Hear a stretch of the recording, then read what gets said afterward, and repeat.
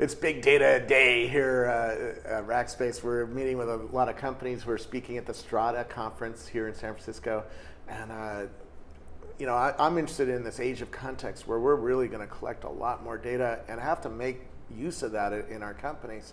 And today we're talking to Actian about uh, all that, and well, we'll get into it. Big data, Actian, right now.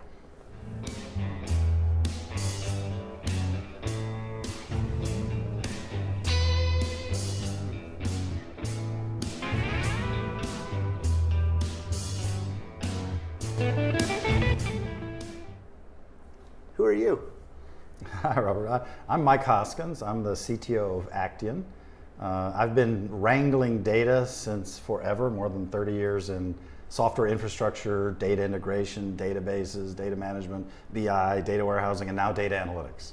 Uh, so I've been living and breathing data for a long time and uh, have arrived at the pinnacle big data and analytics. And yeah. I'm CTO of Actian, driving a lot of that vision at Actian. Well, I just finished a book uh, called Age of Context, and uh, you know we're getting sensors on us that are collecting data. A new Ford car collects 200 megabytes a second, I think, of data off of its sensors and mm-hmm. whatever else is going on.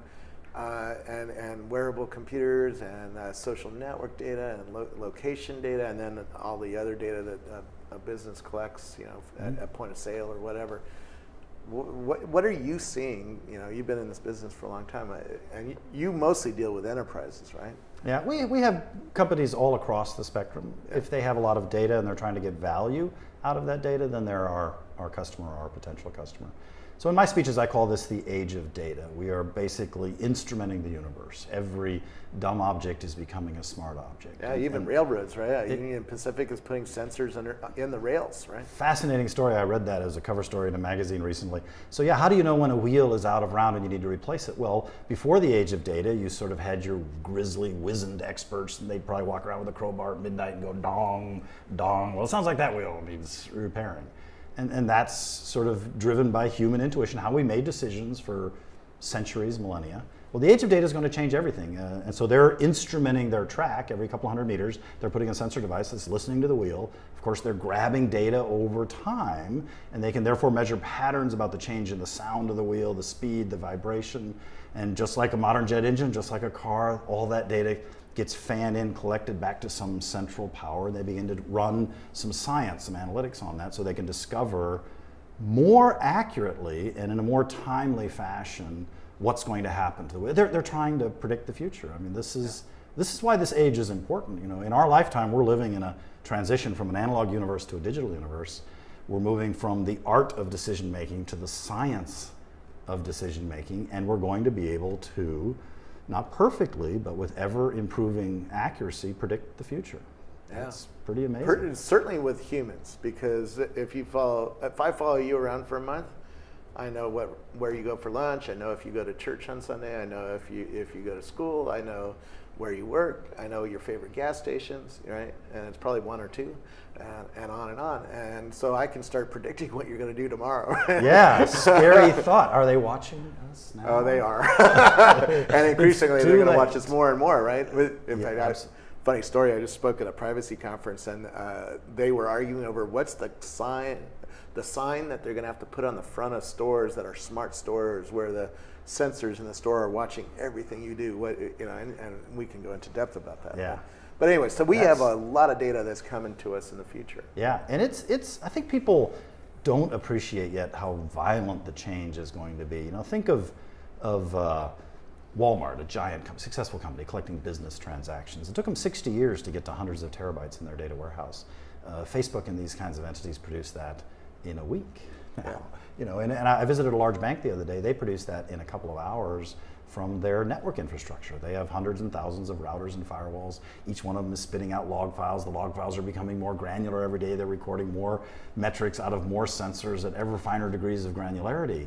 And so, so yeah, the, the, the sheer complexity and scale of those data feeds is going to overwhelm uh, and, and make obsolete uh, huge chunks of the software industry, in, yeah. in my opinion. Is Larry Ellison in trouble? Uh, well, I'm not going to pick a fight with Larry Ellison in oh, San Francisco. uh, but he runs Oracle, right? Of course. And of course. Oracle used to run the world. Uh, and, and you know what? the, the times are changing. We are in a highly disruptive period right now between the, the last 30 years and the next 30 years, and they're not going to be the same. And new winners are going to emerge. And of course, software is a very sticky product, and, and software companies are very well entrenched in their installed base. But it's not an accident that many of the traditional software players have had challenges in the last you know, six quarters, seven quarters, eight quarters. You look at the financial results. It's look at the, Cisco, the world is look at HP, look at Microsoft. Look at IBM's results, look at Teradata's results, and, and it's hard to win new customers with that traditional model. I mean, think of this. Imagine you're a big customer of Exadata, Oracle, or Teradata, or any of these, and you're paying per terabyte for this, and your data volumes are not going to go up 10% next year. You know, they're going to go up hundreds and thousands of percent over the next year. What, you know, you're going to need big wallet to deal with big data. It's just there's no answer. I think it's a death march. I think certain current technologies are simply not going to offer uh, economical scaling in the age of data. And it's an exciting period, frankly. Look at uh, innovations like Hadoop, just sort of came out of left field. Yeah. And I can't go to a company where I don't find Hadoop installed and they're kicking the tires and Ah, trying to find out it- what's going I, on. I toured a data center down in Las Vegas, and uh, eBay had 20,000 node, 20,000 you know servers, all running Hadoop. Right? Isn't that amazing? Yeah. It's just sort of happened, you know, and because there's no official owner in the classic sense and no massive marketing budget, you don't get the constant press releases about how massive the adoption is. But I think it's it's a huge story. This the software landscape is changing in so many ways, and, it, and it's, it speaks to an opportunity for vendors like Actian. You know, we're really making a bet that this is a discontinuous break with the past. Well, that's why I invited you because I, I think you're a Rackspace customer. If I, We, we are a Rackspace customer, actually. We're a, a Texas-based uh, company. We got Austin office. Uh, headquarters are here in California, but big office in Austin. We're just down the, the road from San Antonio. We know the people well. And yeah, we run one of our next generation, in fact, world's fastest columnar analytic databases uh, hosted on Rackspace. So we, we like that. We host on almost everybody. So we're a big AWS customer. Our, our Actian Data Cloud is an elastic data cloud running on AWS and Azure, but we also host on. Uh, well, on we're going to have announcements soon that you might change your mind on that. Really? yeah. Anything you can tell me about? No, not if I want to keep my job. Okay, fair enough. um, but soon. Um, anyway, so what what what is it that you guys do? Okay, I, I think it, it's probably helpful. So we're a giant company Yeah. in the software industry. We're almost 150 million in sales. Probably one of the largest private software companies in the world. Uh, we have a very well-established enterprise database business. Uh, where we ship relational databases, embedded databases, object databases, uh, tens of thousands of customers all over the world, offices all over the world, 24 by 7 support. So we're, we have extremely deep roots in the software industry, and some of these roots go back 30 years. But, but the, the vision inside Actian right now is to develop a new generation of software for the two spaces that people are, are really worried about grappling with, and that's cloud computing and how do I integrate the internet, uh, and big data and analytics. And so we've announced uh, just a few months ago uh, two major platforms to deal with those two problems. Uh, one, the Actian Data Cloud to deal with data ubiquity. You know, I read the other day that 10,000 new APIs were born on the internet last year. It's, it's like a, a Cambrian explosion of new life forms. Well, there's companies that just do APIs like Mashape, right? Oh, they, It's they were here, right? Yeah. Good company, and there's several of them now. Just to do API management is terrible. So, so the the data integration problem that we've done for 30 years as a classic enterprise data integrator uh, is now gone crazy because you have all these endpoints born on the internet, and who's going to connect your Salesforce.coms and your Twitters and your new web uh, web services? That while we're having this conversation, there's probably 200 new APIs born on the internet. And so, to try and address that problem, we decided. So this is seven years ago, so I think pretty insightful. We decided to lift our traditional data integration plumbing, which has all the connectors and all the engines and all the data quality pieces, and move it and build it, re-engineer it as a secure elastic cloud of data services. Yeah. And so the Actian Data Cloud is, and I, I think we're the leader in this space, it's a very young space, but I can make that claim. Uh, the Actian Data Cloud is that secure elastic cloud of data integration services. You can use it to connect to anything online. Uh, we wrote the world's first connector to Salesforce.com. You can do Twitter feeds and Facebook connections and, and NetSuite and, and Intuit and QuickBooks.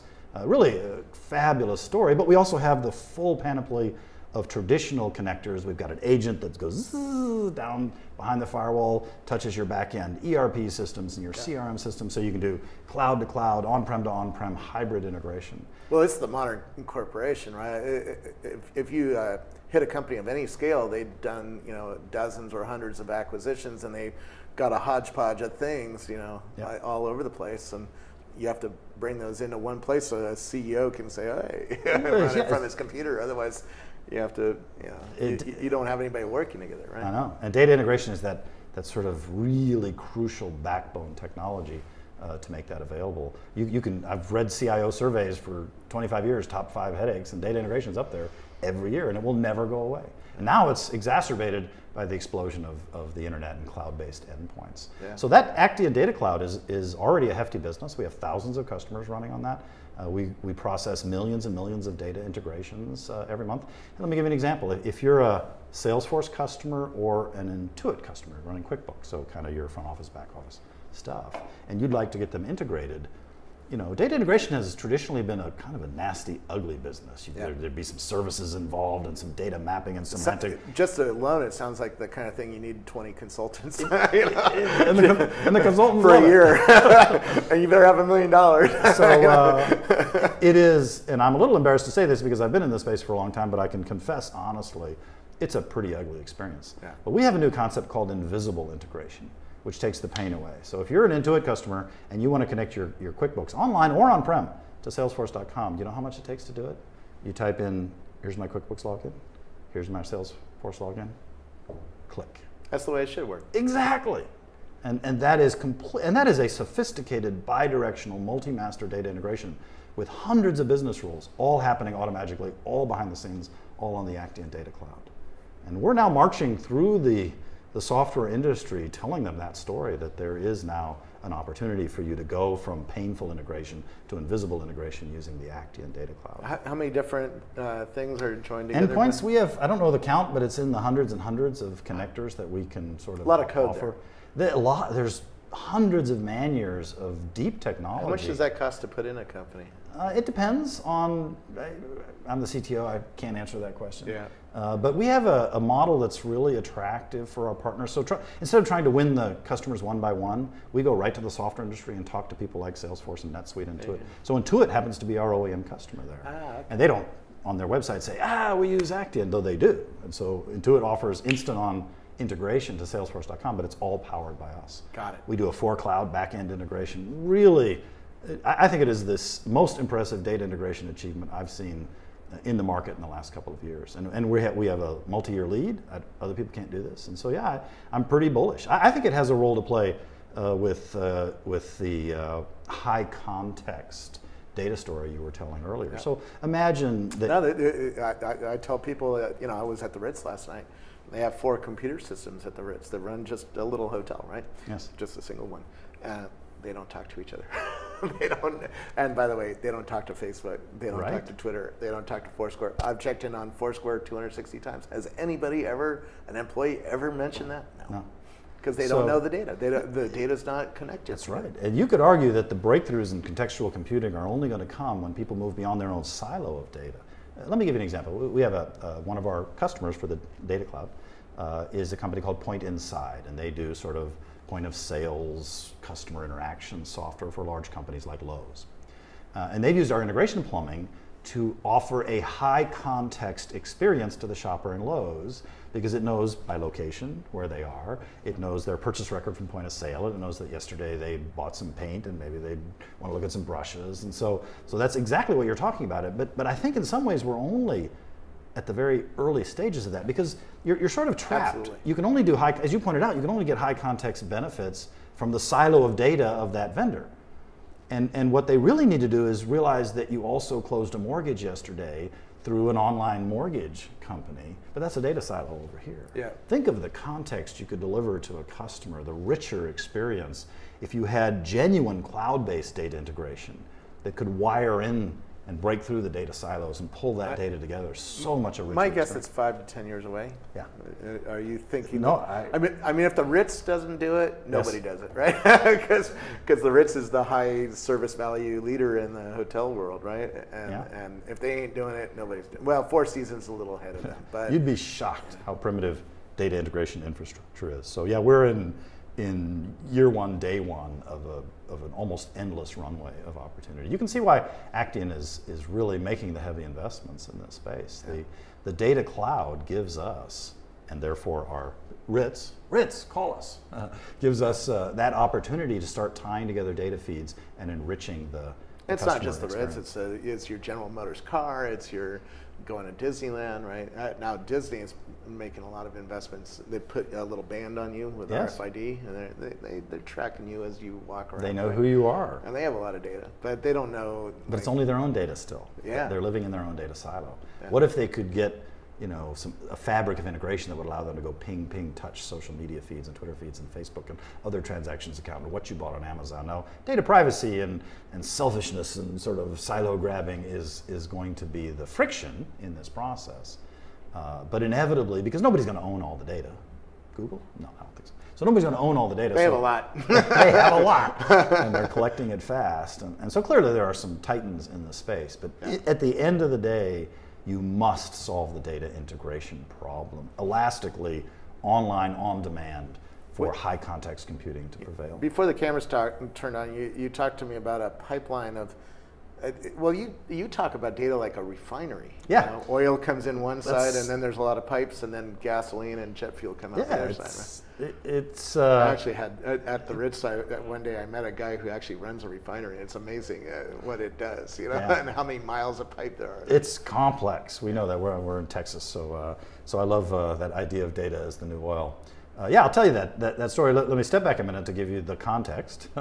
uh, so so the Actian Data Cloud is sort of our new platform, next generation technology to to integrate the internet. Uh, the other large problem that we see is is independent of integrating and collecting data feeds. Uh, the opportunities. So this is a really big transition that's going on in software that I talk about. We don't hear, I think, enough about it. We've spent 30 years in what I would call the operational world and operational systems and our, our accounting systems and our payroll systems and our transaction systems. And they continue to operate and go.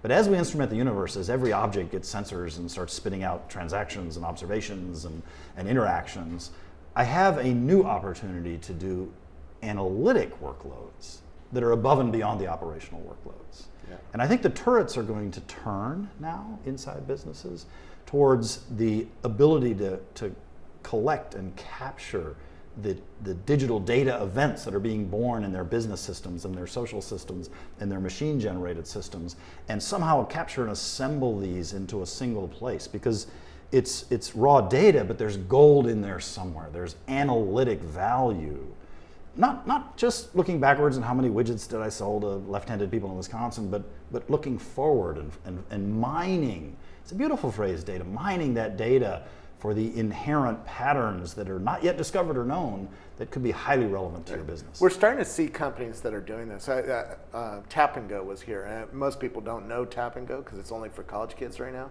and only for small number. Uh, Twenty. It's like Facebook in the early days. Uh, I've seen this pattern before, right? You know, how did Facebook happen? It started at Harvard, right? And any, everybody at Harvard knew it was important, but nobody else did. And, uh, and anyways, Tap, Tapingo. Um, uh, a college kid gets up and, and buys everything on their phone, right? Right. Buys their coffee, buys their sandwich, uh, gets their laundry cleaned, everything they do off of Tapingo. And it's actually stalking you, it's following you around. And eventually, it, it's really quickly, it starts asking questions Would you like your normal iced latte this morning? Right. It's like, oh, how did it? Oh, yeah, I bought iced lattes for the last five days. I guess I'm going to buy an iced latte today too.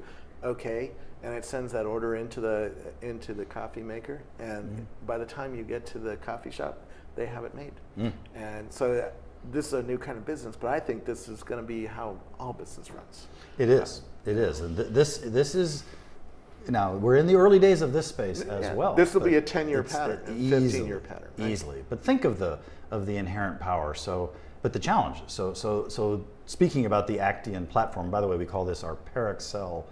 It's like parallel acceleration. We're all about next generation, massively parallel and scalable software.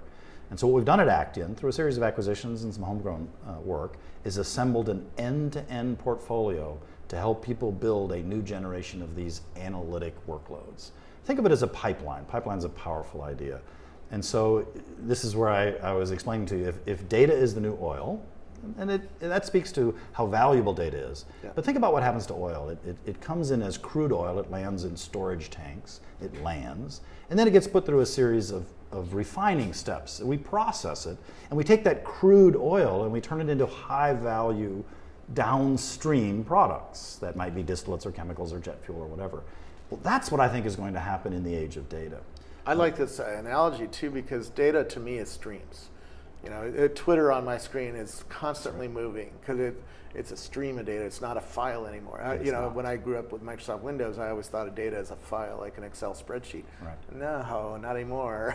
I'm glad it's a stream, stream of data, and, and doing this kind of step of processing makes a lot of mental sense to me. Yeah, we call these data flows. And if yeah. you want to remember something from this conversation, uh, so, so we've pioneered in that area. We have the world's fastest, most scalable parallel data flow engine. But data flows are an important way to think about the next 30 years. If data is born digitally and flows constantly, so your, your static architectures are dead. The idea that you can wait two days, collect your data, load it in your data warehouse, give people information that's two days or two hours old, over. It's finished. Yeah. And so, so crude data is streaming at us. It needs to land someplace as well. Maybe HDFS is the storage tank. You know, and so we have crude data, and it needs to be pushed through a pipe, flowed through a pipeline to its highest analytic value. We have to turn crude raw data into high value information products. Yeah. And so that's a pipelining process. And so the, the strategy, and now the successful strategy, was to acquire and build an end-to-end portfolio of pieces. Let me take you through the pieces. I have to be able to have fan-in collection frameworks yeah. to pull the data from n number of sources, a yeah. classic data integration pattern. Yeah. Now the data has landed at the front of my pipe in its crude form. I have to process it through ETL and transformation. What's and, ETL for people that uh, Extract, transform, and load. It's, it's, it's the classic phrase we use for turning a dirty data into clean data. So very much like crude oil gets you know, turned yeah. into sort of light, sweet crude so that it can go further down the pipeline and be processed. And so, yeah, we're taking that data and we're parsing it and transforming it, enriching it, cleansing it, deduping it, maybe geocoding it, maybe doing some pre-computes, some aggregates, making it ready for its downstream higher value purpose. When you get towards the end of the pipe, you're starting to, to ask new questions. And this is why people are excited about advanced analytics and data science. It's not just, you know, what did I do yesterday? But if I actually had all the information, think of a wearable again, think of yeah. contextual computing, think of a pacemaker in 10 years. It won't just be a dumb device, it'll be a sensor device. Yeah. And it'll be broadcasting, not just helping you, but it'll be broadcasting your blood sugar and your temperature and your, your blood pressure all I, the time. I know a guy building a saliva sensor that's going to know that you're going to have a heart attack 24 hours in advance. Beautiful. That's the story that I tell. This is why advanced analytics, data science, machine learning, predictive analytics is really the sharp tip of the arrow down here. I want to be able to do every kind of query that I've done, but what do I do when it's 50 terabytes? You know, like I said to you earlier, we, we, we helped a customer the other day turn a 30 hour query into a 30 second query because we have the world's fastest columnar analytic databases. And that's where data should live if you want to do ad hoc query in the age of data. But it's not just about sort of traditional kind of querying. We want to do these advanced machine learning techniques. We want to build recommender systems. We want to find when that train wheel is going to fail. I want to know when my air conditioner, I live in Texas. Two August ago, my AC failed. You know, it's hot. I'd like an email three weeks before saying your AC is going to fail. How do we know that? Because every motor in there is a sensor device, and we collect that information. We send it to Bosch in Germany or whoever makes the motors, and they've got it from all the motors in the world, and they're able to run predictive models and science on that and say, aha, when these kinds of patterns happen, typically with some predictive power, this happens. And that's, I think, the second stage of the high context revolution. So context is not only going to be about helping me uh, integrate and aggregate data feeds from multiple places, and therefore I have a richer experience of facts. Yeah. It's also going to then have studied those facts across large time windows and be able to make predictions like I'm going to have a heart attack you know, in the next 30 minutes, which is much better than the state of the art now. Yep. And so, yeah, I, th- I think predictive and analytic pipelines are going to be driving a lot of our experience. It's really going to change how, both as consumers and businesses, we make decisions. Now you meet with a lot of com- companies, uh, you know, from small startups to, uh, you know, we talked about some startups that you can't name, but pre pretty cool ones, all the way up to big ones. What what what does the average business person, you know, CTO need to do in the next year that, that they're not yet doing, or or you know, wake up or what, what kind of teams do they need to rebuild? Or, it's a great question. I, you know, I, in that uh, space, we're even thinking about you know rebuilding our board to get ready for the next world. You know, that's coming yeah. at us really fast. So I would say th- this. So we're talking about big data and analytics. I, you know, in the early days, it was about just big data. It was kind of a testosterone contest. Oh, my data is bigger than your data is. I got six petabytes in the parking lot. the, by the way, the big Bing mapping team has six petabytes in their parking lot. Oh, do they? Okay. in a trailer. so it's kind of interesting how much data you have. Of course, many sources, and you're integrating it. But it's the value you can get out of that data. So, so I'm happy to have seen it become big data and analytics. I personally think the, the pendulum is going to swing towards the analytic workloads. And, I, and, and at the end of the day, and if you're listening, what should you do about it? You should think about how to bring a new generation of analytics, science, into your operational flows. And I think it's pretty easy to do. Uh, data mining and, and, advanced predictive analytics has been around for you know actuarial science, uh, credit scores. These are predictive models. You know when are you going to die? It's insurance companies would really like to know that with with better accuracy all the time. And are you going to pay your mortgage? Are you going to pay your credit card? I mean, that's really what a credit score is. And, so we've had predictive models in key parts of our business, but they're going to participate in every part of our business. You know, do I turn left? Do I turn right? Should I hire the guy? How should I price my product at 2:30 p.m. this afternoon? What ads should I show? You want to talk about contextual computing? We have a couple of customers who are huge digital media players. I mean, the biggest in the world and they use our advanced analytic pipelines to be able to recontextualize the ads that are served. I mean, that's really what ad optimization is. It's understanding who you are in that moment that would make this or that ad more relevant to you. And so we've got a, a, huge digital media company that, that builds those little bots that are out there watching behavior and constantly refreshing the behavior of the bot to try and improve your experience. Yeah. And I think that's, for people listening, think about the data you already have, the business transactions, the increasingly new internet and machine generated data sets, and think about an infrastructure to build discovery and analytic pipelines, to understand your data, to find the patterns in there that are important, and to draw and find, and this is the, the holy grail, is to, to be able to assemble that data, analyze it, and build a predictive model that allows you to act in a more timely and accurate way than you were yesterday. Yeah.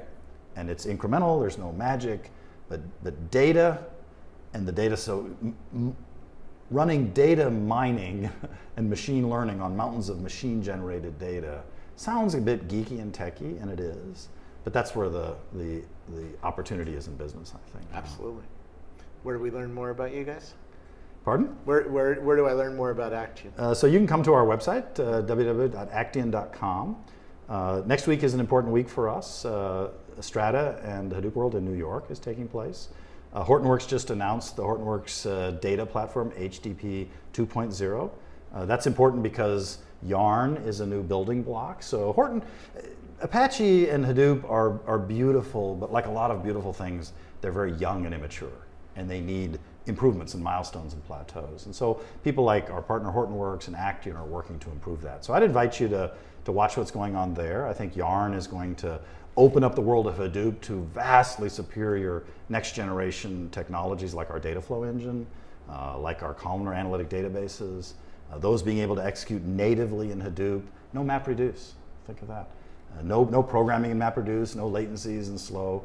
And, and so being able to adopt Actian technology, uh, as, as, you'll see next week in the New York show, is really going to change your Hadoop experience. It's going to make your design time experience uh, dramatically better and your runtime performance dramatically better. So I, look for us there and, and, look for us in these kinds of data cloud and big data uh, events and opportunities in the future.